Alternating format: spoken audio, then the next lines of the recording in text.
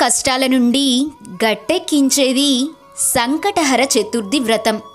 గణపతికి అత్యంత ప్రీతిపాత్రమైన తిథులలో ప్రధానమైనది చవతి తిథి.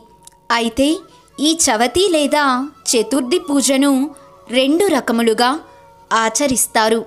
మొదటిది వరద చతుర్థి రెండవది సంకష్టహర చతుర్థి. అమావాస్య తరువాత వచ్చే చతుర్థి రోజున చేసే వ్రతమును వరద చతుర్థి అని పౌర్ణమి తర్వాత వచ్చే చతుర్థి రోజున చేసే వ్రతమును సంకష్టహర చతుర్థి లేదా సంకటహర చతుర్థి వ్రతం అంటారు. ఇందులో వరద చతుర్థిని వినాయక వ్రతంగా వినాయక చవితి రోజున ఆచరిస్తారు. సంకటములను తొలగించే సంకటహర చతుర్థి వ్రతమును మాత్రం ఆలంబనంగా ఆచరిస్తూ ఉంటారు. ఒకవేళ సంకష్టహర చతుర్థి మంగళవారం కాని వస్తే దానిని అంగారక చతుర్థి అని అంటారు.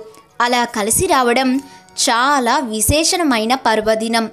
అంగారక చతుర్థి నాడు సంకటహర చతుర్థి వ్రతం ఆచరించడం వల్ల జాతకంలోని కుజదోష సమస్యలు తొలగడంతో పాటుగా చేసే పనులలో సంకటములు అన్నీ తొలగి సఫలత చేకూరునని ప్రతితి. సంకటహర చతుర్థి వ్రత పూజా విధానం.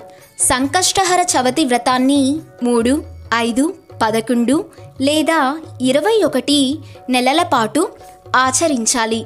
ఈ వ్రతాన్ని బహుళ చవతి నాడు ప్రారంభించాలి. వ్రతాచరణ రోజున ప్రాతకాలమే తలస్నానం చేసి ఆ తరువాత గణపతిని పూజించాలి.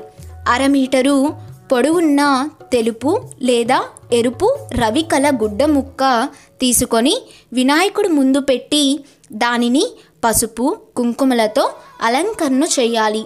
మనసులోని కోరికను తలుచుకొని మూడు గుప్పెళ్ళ బియ్యాన్ని గుడ్డలో వేసిన తరువాత తమలపాకుల్లో రెండు ఎండు ఖర్జూరాలు రెండు వక్కలు దక్షిణ పెట్టి మనసులోని కోరికను మరోసారి తలుచుకొని మూట కట్టాలి.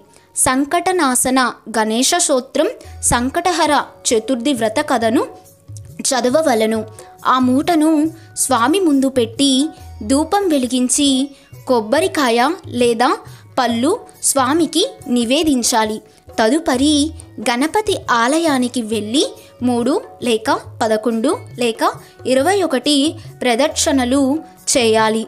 సఖ్యను సారము గరిక పూజను కానీ గణపతి హోమమును కానీ చేయించుకోవచ్చును. సూర్యాస్తమం వరకు పూజ చేసిన వినాయకుణ్ణి కదపరాదు.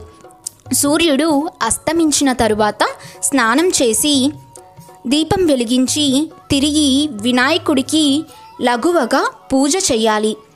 నియమం పూర్తయిన తరువాత వినాయకుడికి కట్టిన ముడుపు బియ్యంతో పొంగలి చేసి స్వామికి నివేదించాలి.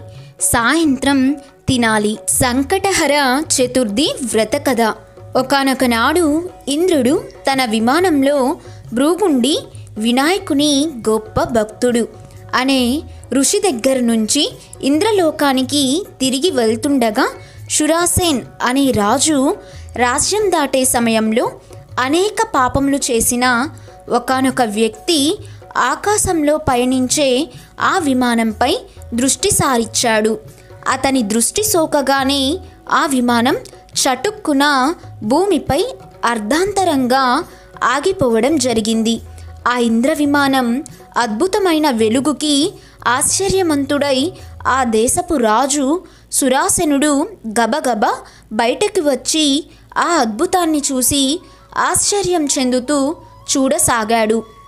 అక్కడ ఇంద్రుణ్ణి చూసి ఎంతో సంతోషానికి లోనైన మహారాజు ఆనందంతో నమస్కరించారు ఇంద్రునితో అక్కడ విమానం ఎందుకు ఆపినారో కారణం అడిగాడు.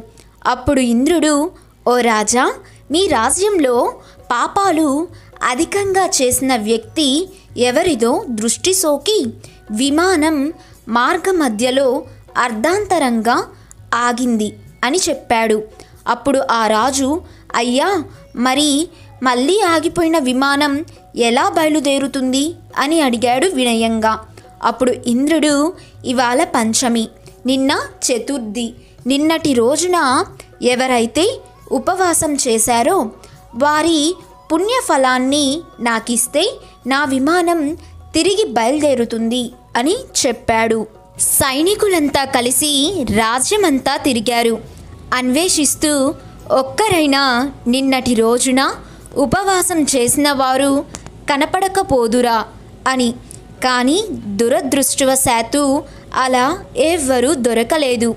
అదే సమయంలో కొందరు సైనికుల దృష్టిలో ఒక గణేష దూత వచ్చి మరణించిన స్త్రీ మృతదేహాన్ని తీసుకువెళ్ళడం కనపడింది. సైనికులు వెంటనే ఎంతో పాపాత్ పాపాత్మురాలైన స్త్రీని ఎందుకు గణేష లోకానికి తీసుకువెళ్తున్నారని ప్రశ్నించారు.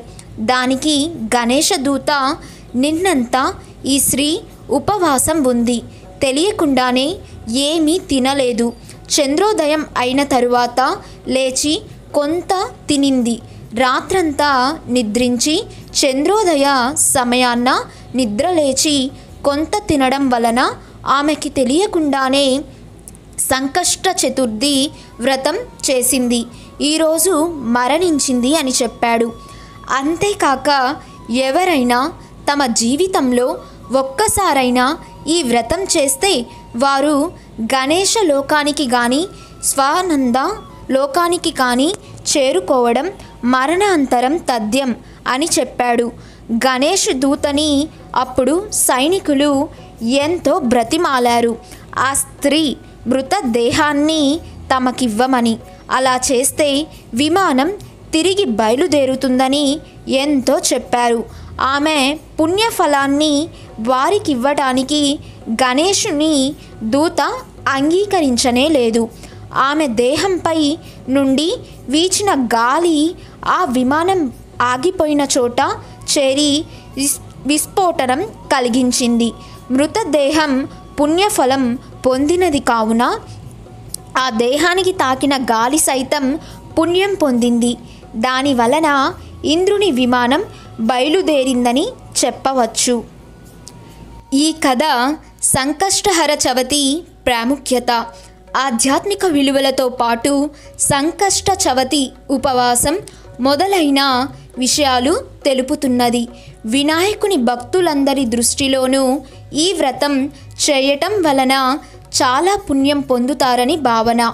ఈ వ్రత మహత్యం వలన ఈ వ్రతం ఆచరించిన వారు ఎవరైనా గణేశుని లోకానికి లేదా స్వానంద లోకానికి వెళ్తారని అక్కడ భగవంతుని ఆశీస్సుల వల్ల ఎంతో ఆనందాన్ని అనుభవిస్తారని అంటారు.